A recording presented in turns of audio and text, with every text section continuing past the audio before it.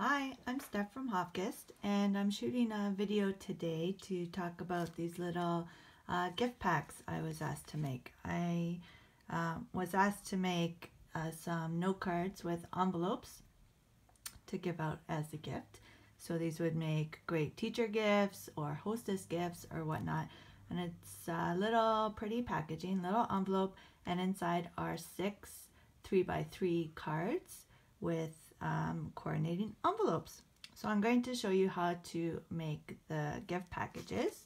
And these are the different card designs that I came up with using the Touches of Texture stamp set. I love, love, love this stamp set. Great for collage stamping. So uh, let's see, you get 15 stamps. So there's all of those.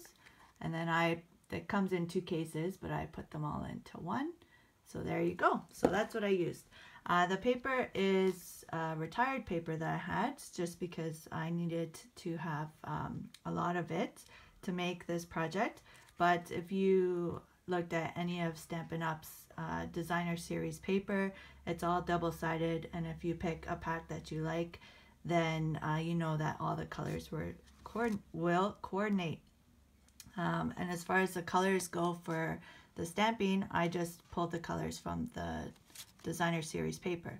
So these are all the different uh, cards that I came up with, the designs, just using the touches of texture and then a couple of little embellishments uh, here and there.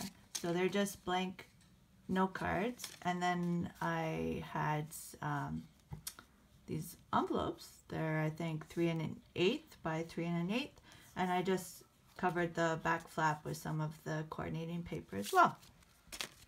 So if you want to make um, one of these packs to hold the 3x3 paper, you're going to start with an 8x8 sheet of double-sided paper. Uh, don't mind these little nicks. Uh, you'll see why I did that in a moment. So if you still have the diagonal score plate um, with the um, the scoreboard here from Stampin' Up, you can go ahead and use that. And you're going to butt your paper up into the corner. And you're going to score here at the two and a half mark. And you're going to score diagonally. And then you're going to turn it over. And you're going to butt it up against there. And you're going to score again diagonally in the corner on that side.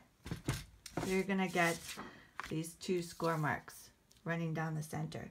If you don't have the diagonal plate, you can do this on the trimmer um, with the scoring function as well. To do that, the measurements change slightly. You're going to take a corner and you're going to uh, match it up at the top and the bottom at two and a quarter. And then you're going to score and you're going to flip it around and you're going to do the same and you're going to Match your points here at two and a quarter inches and you're going to score again. Okay, so once you have that, then you can go ahead and fold. And this is where my trim marks come into play because I had to cut off just uh, the corner bit so that it aligns properly. Okay, so that's what you have there.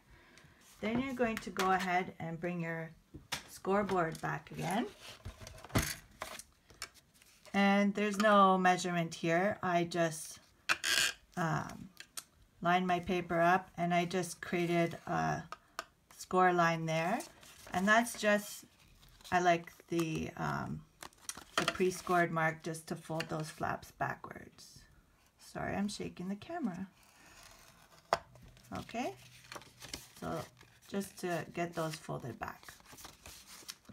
So that's what you have there. And then this is going to be the front. So it's nice when you have double-sided paper so that you can see the pattern on both sides.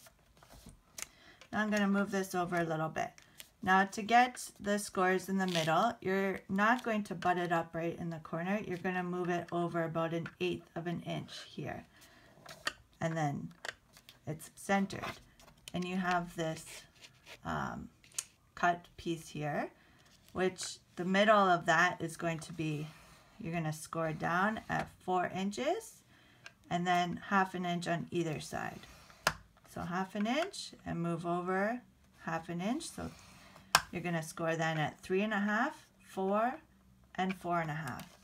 And if you look, if I pull it closer here, it's basically, I mean, this isn't cut properly here, but basically you're scoring right in the middle and then it, it usually does line up here with this, this point, if that makes sense.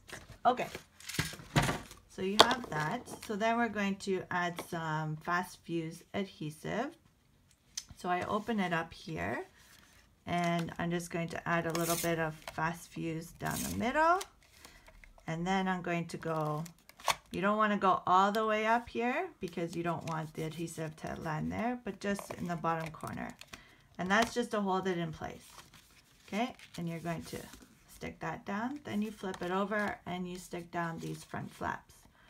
So again, a little bit of fast fuse. You can use any adhesive that you like. I just like fast fuse because it holds everything in place and it's very quick and easy to put things together. Okay. So now uh, we're going to fold on these score lines. So you have, let's see if we can get it there. You have three score lines. So the middle score line, you're going to take that and you're going to fold your pockets backwards and if you lined everything up properly the ends here are going to meet up. Now you can use a bone folder to get your folds nice and crisp. I just don't like using a bone folder. That's just my preference. Then you have these and you're going to flip them inwards. So you have one and then you have your last score line here and you're also going to flip that.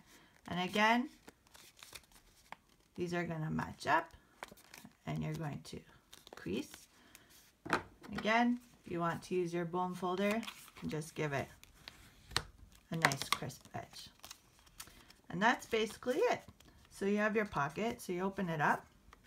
You're to take your, I did three envelopes on one side, and those get tucked in there and three envelopes on the other side.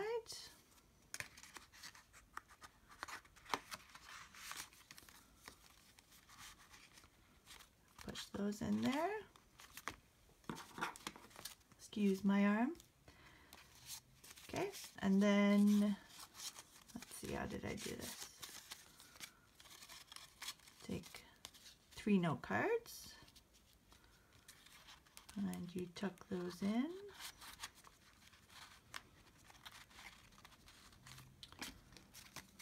and the other three note cards on the other side.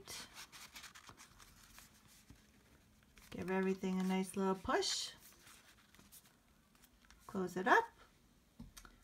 And then you get some ribbon if you want to. I mean, it holds closed on its own. I just think the ribbon is a nice little touch.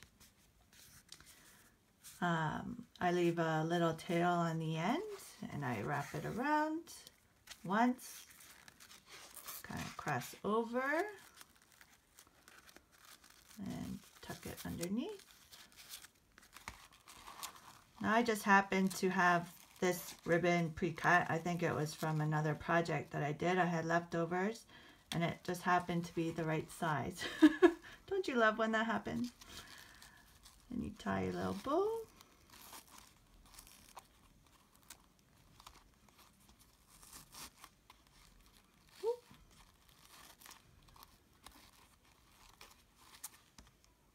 There you go. And you have a nice little gift packaging. Then I take my ribbon scissors. Who else has ribbon scissors? All right, there you go. And then you have all these little packages.